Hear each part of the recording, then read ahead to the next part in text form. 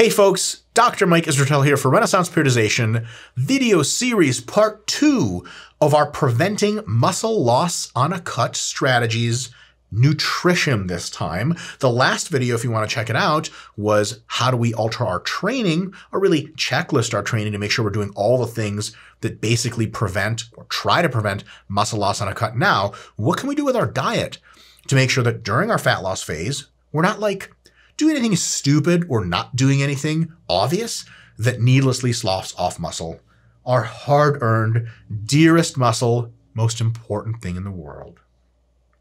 Here we go. Number one, some of these are basic as shit, some more nuanced.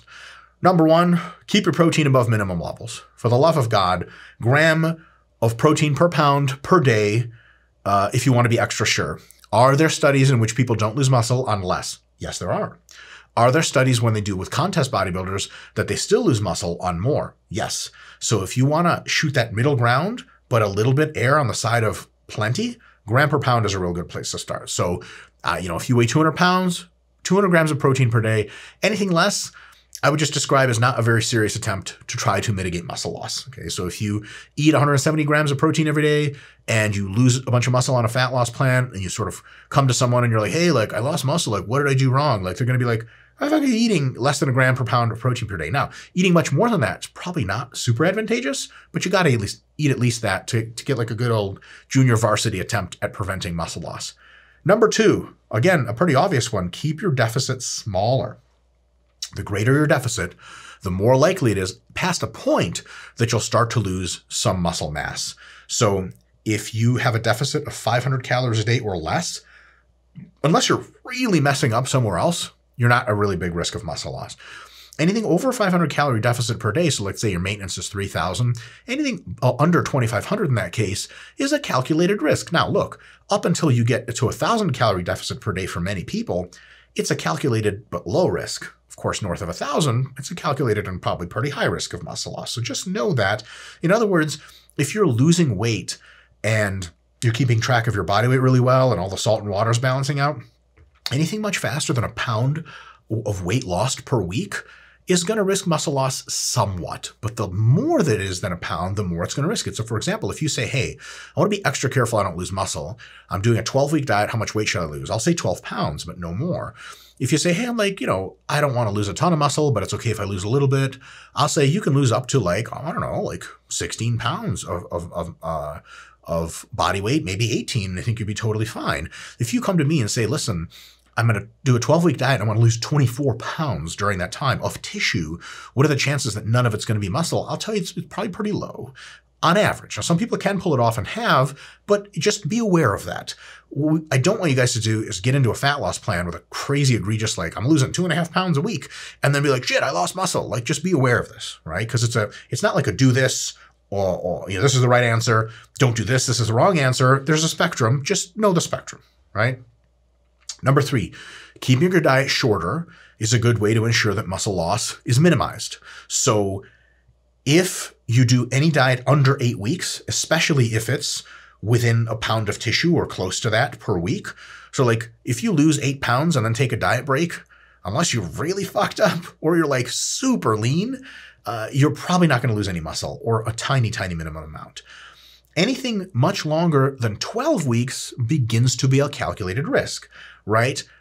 How you might have more fat to lose or want more fat to lose than you can reasonably with low muscle loss in 12 weeks or less. That's totally fine.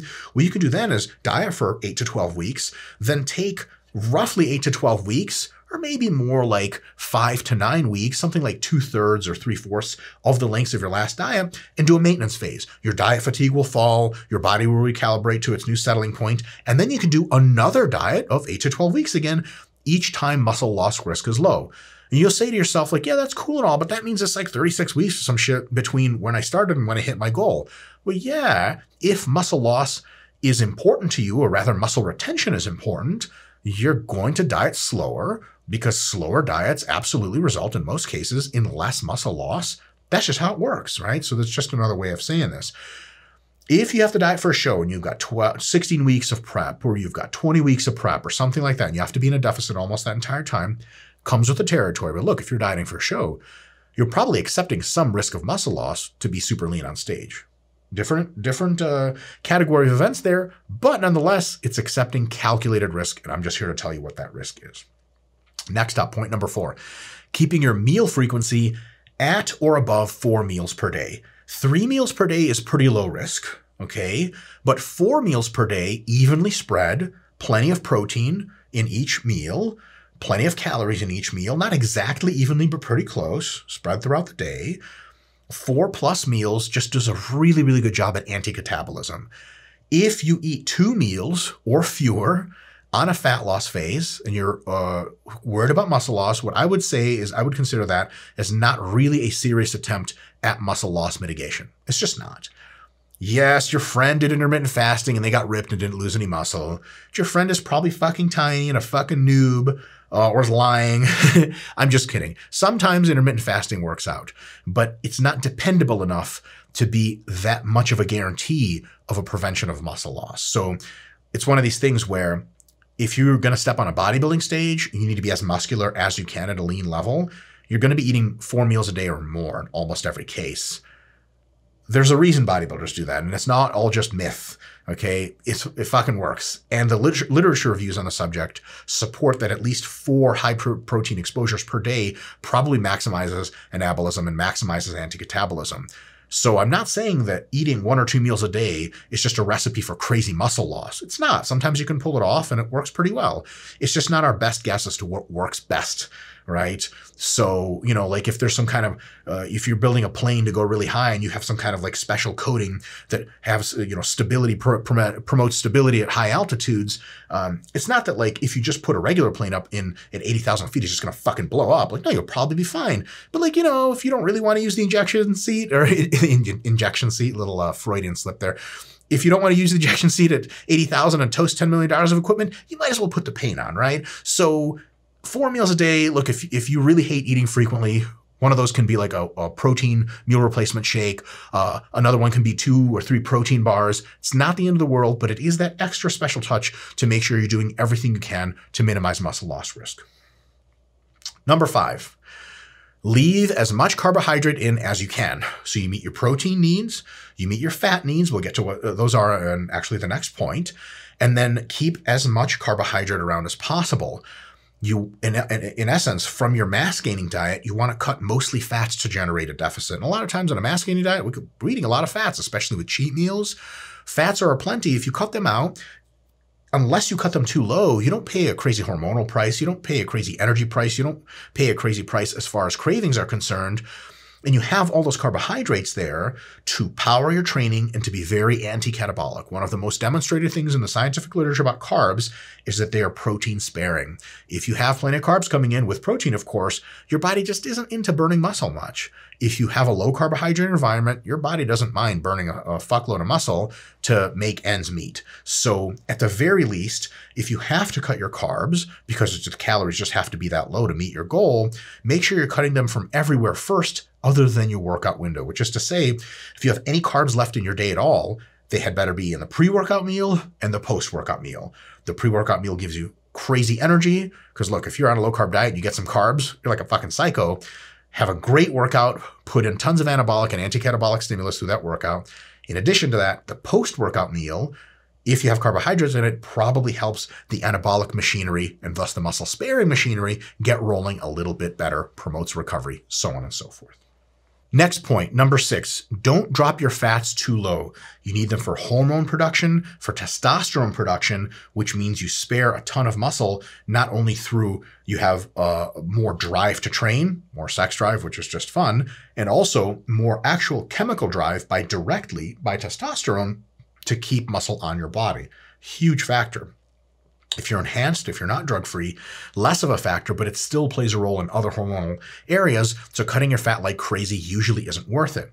If you're at about 0.3 grams per pound per day, which if you weigh 200 pounds, that's like 60 grams of fat per day, for example.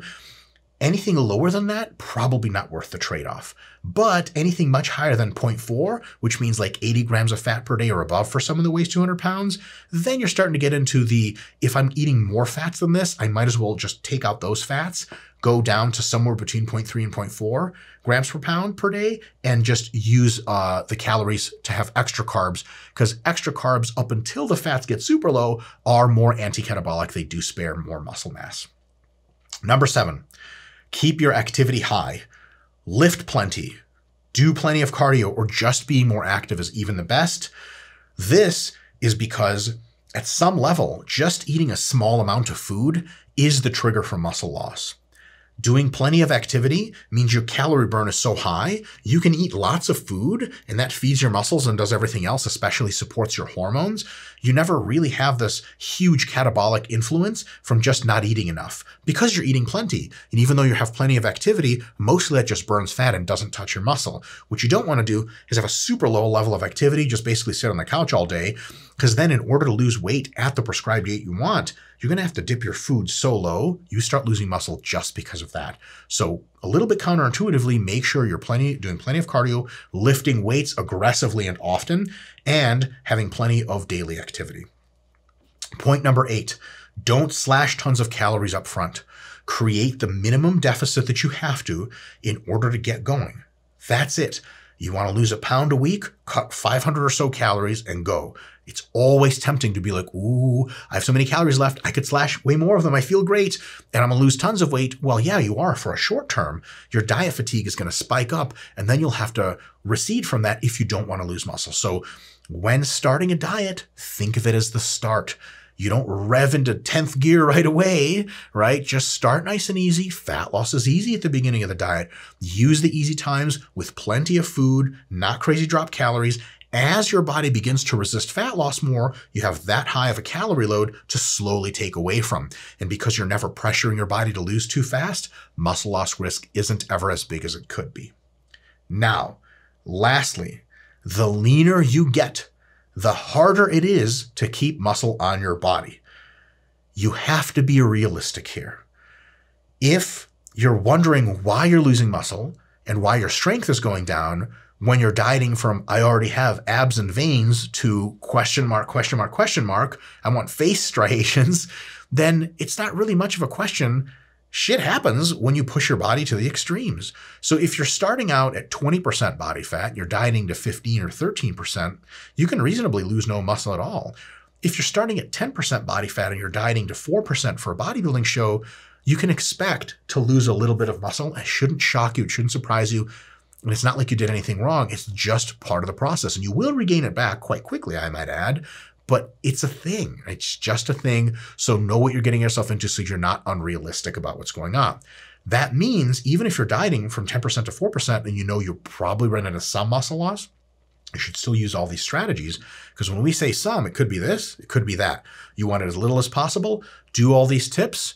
Hopefully you have some good luck. See you guys next time for the cardio portion.